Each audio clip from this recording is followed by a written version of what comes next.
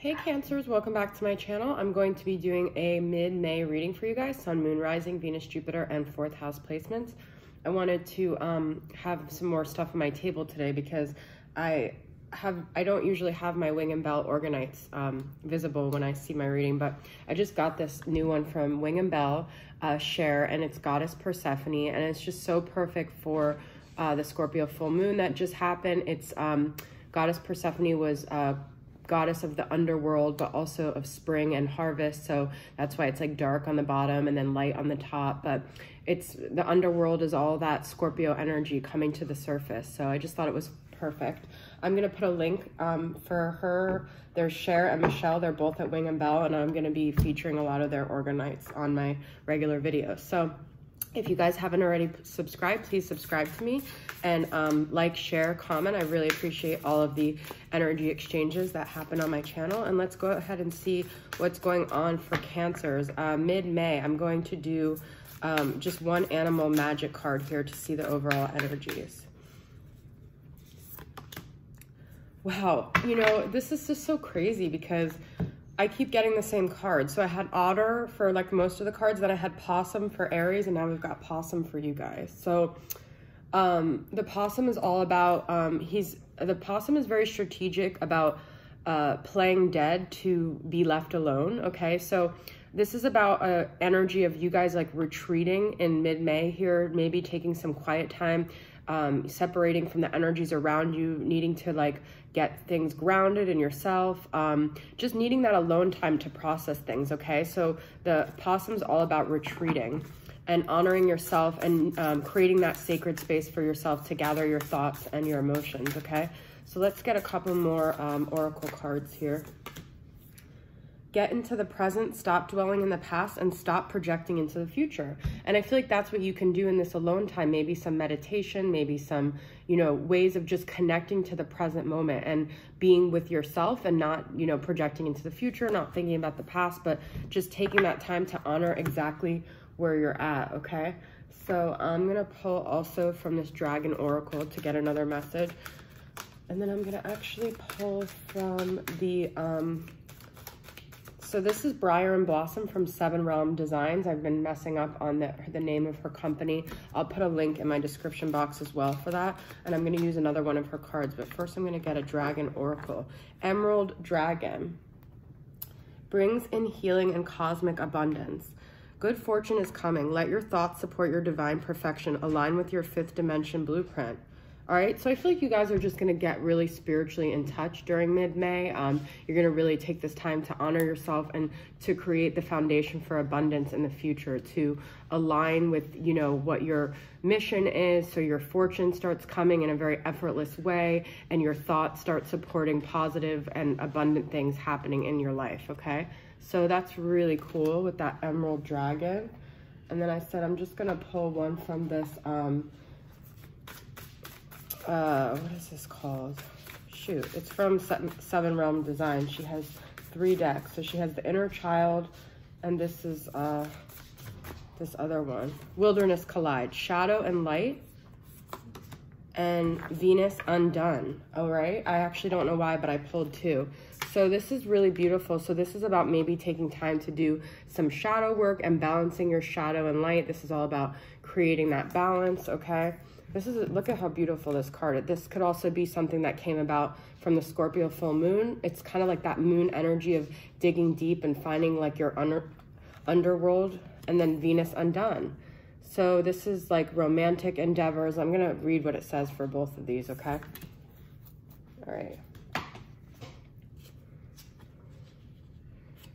So for Venus undone, it says, Venus speaks to us through this card of intimacy and vulnerability. She reminds us that we are a force of pleasure and love, connected to all that is within us. She asks us for she asks for us to open up and become unbound, free to pursue all that we wish to create in this life. If Venus is calling to you, now is the time to allow for intimacy, love, and openness to come to you. There is strength that comes from the blossoming of her vulnerability and power that comes in softening. Okay, so that's really beautiful. It's like you guys are opening up your heart chakra here as well. So I feel like you're taking this time to like get in touch with yourself and then come out of it like really like evolved and ready for like a new beginning. And I'm going to read what it says for shadow and light. Shadow and light speaks of the primordial powers of life, yin and yang, feminine and masculine, chaos and creation.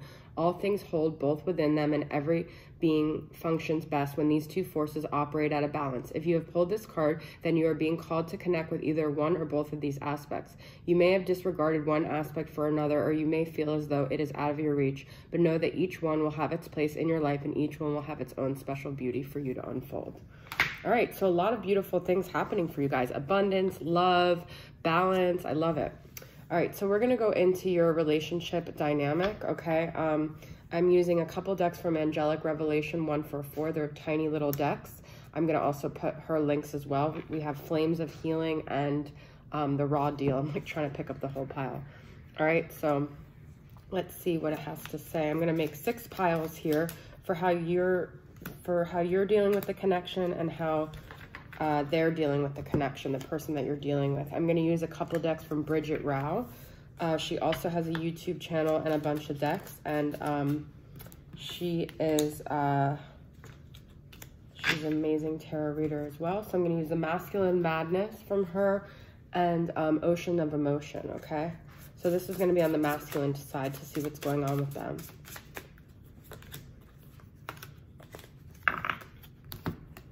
And then ocean of emotion on your side. If you identify as the masculine, then you can identify with the masculine piles, but this um, reading is geared usually towards feminine energy. It doesn't have to be feminine gender, but just feminine energy. And then I'm going to use Messages of Love Oracle from All Things Intuitive. Another awesome deck creator. And then obviously I have to get a tarot here. And I'm going to use Angelic Revelations other deck, um, Naked Flame Healing Messages 144 for a message from, actually two messages from the masculine. Okay, and what was the other one I said? Tarot I need. I'm going to use Universal Fantasy Tarot here. Okay, and then I'm done. Sorry it took me a minute. All right, so I need one more card actually here. No, I don't. Okay. So where are you guys at mentally, Cancers? What's your energy mentally? I love the sweetness of your soul and the taste of your kisses. Sweet. Okay. Wait, the timing is not quite right. And Two of Pentacles, trying to decide what to do because you're very drawn to this person, but you know the timing isn't right. And they want to live with you. So it's either that they want to live with you or that they want to take this to the next level and you're very like into this person but you don't know if the timing is right. You're trying to decide between two things. You're trying to decide do i take this relationship forward or what should i do here? They have the sun leo energy could be dealing with a leo. Nobody understands the darkness inside of me inner demons. So i feel like you're the sun that helps them illuminate things when they feel really like tormented and in this dark space. They see you in like a very bright light. They see you as someone that could dissolve a lot of their heaviness here. Um, and you, may, you bring out like the inner child in them. Let go of blame and anger. This is on their side. So they're trying to illuminate their dark side. They're trying to let go of negative things, their inner demons. They're trying to be more bright, more happy. And I feel like you bring that out in them, okay? Temperance. This is all about balance. This is your emotional space. You guys are really trying to find that balance. I love it. This is also a very sunny type card, but this Sagittarius energy, um, and this is your an emotional in your emotion space. So you guys are really trying to create emotional balance here. You don't want to go to either extreme. You want things to be in moderation. You might want to slow things down if they're going too fast. They are a karmic twin, okay? It's interesting because she made this pile and she said that a karmic twin actually means it is a twin, but it's like you have a lot of karma with them. Your light illuminates my mind and soul, inspired. So you definitely feel like you guys both um, help each other out. You both lighten things up for each other. Children, that's what I said, inner child. Children are important to this partnership. I feel like you guys bring out the inner child in each other. That's so beautiful. All right, so um, there's a lot of karma here. You guys could have past life karma. Um, I feel like that usually is like that Six of Cups energy where someone brings out your inner child, but it's also a past life love, okay? Wow.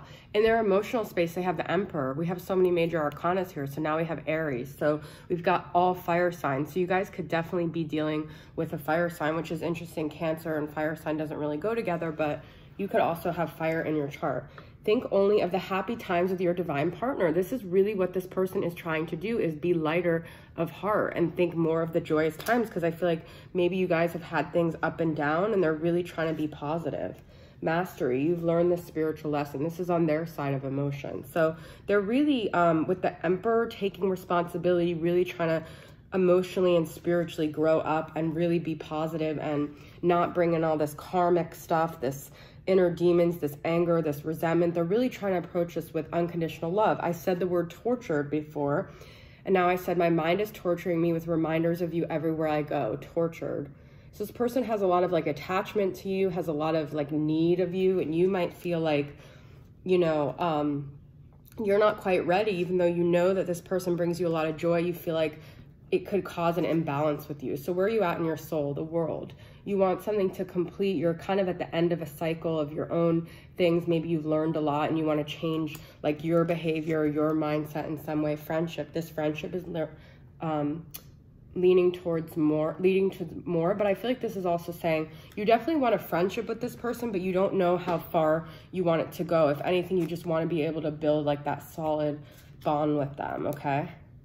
And then we've got depth. I want to give you more of me and I want more of you. So you definitely feel like it's a deep bond. I do feel like this is like an inner child past life connection, okay? Um, it's deep, but you just don't want it to be too heavy. That's what I get is the feeling. So in their soul space, we have three of pentacles. They want to put in the energy to collaborate with you, to work with you, to build things with you, okay? I feel that you disrespected me and betrayed me. I am a loyal person and I want to feel that I could trust you completely. Please acknowledge the hurt you have caused me as this will help me to heal. This, they still have a little bit of blame and anger. This is what they're saying, okay? My life has felt so fucking pointless without you, and I have had suicidal thoughts. I know that I need to learn how to love myself and forgive myself, but I am struggling to get past my mistakes. So they do a lot of this blame and anger because it's easier to do it than focus on their own stuff. But I also feel like this person puts a lot of um, pressure on you, and that could be why you guys are taking a step back. Like they're saying they're suicidal without you. So you guys feel very overwhelmed, like you don't want that pressure of their mental health. And they're like tortured and they need you really badly. So that push pull energy can be kind of like pushing you away, okay? I know that we are meant to be and I'm committed to our love commitment. So it seems like this is this person is really like intensely feeling towards you and um let's just get one last message from this all things intuitive in the shadows and see what your last message you want to say to them is. Where are you, what are you coming from? I can still see you standing there. So something happened, like this um, memory is forever imprinted in your mind. And I feel like it's just really heavy. Like I wondered how far this would go. I feel like you feel a little bit hesitant. I actually want to pull one last card for a shadow from you guys. What What's preventing you guys from wanting to um, move forward in this connection, okay? I get the feeling that you feel a lot of pressure though doubt. You just have doubt. You just aren't sure. That's what it comes down to. So explore that and see if it's your own doubt or if it's this person and honor that, whatever that is. Take that time in mid-May to yourself to figure it out.